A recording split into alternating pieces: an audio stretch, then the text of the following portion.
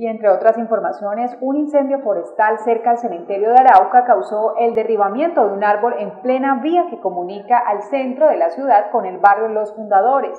Habitantes denuncian enfermedades respiratorias a causa del humo.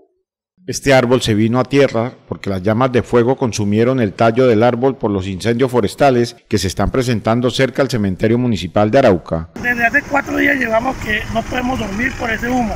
Lo que pasa es que hay un incendio, ayer hubo incendio y llamamos, yo llamé a la policía y la policía en ningún momento me dijo, no, llame a los bomberos.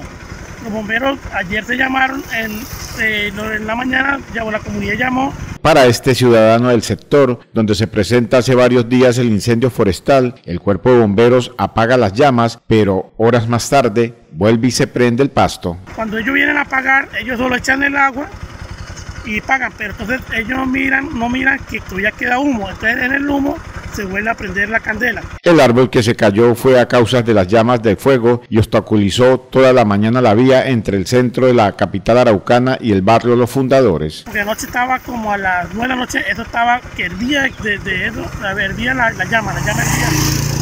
Y por medio de esas llamas hay mucho humo.